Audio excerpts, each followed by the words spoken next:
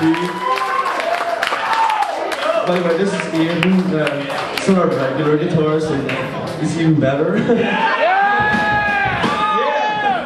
Yeah, Mark's away getting swine flu in Mexico, so uh, yeah, fuck him. Obviously not the same sort of vibe you used to, but uh, so I'm gonna try it anyway, thanks.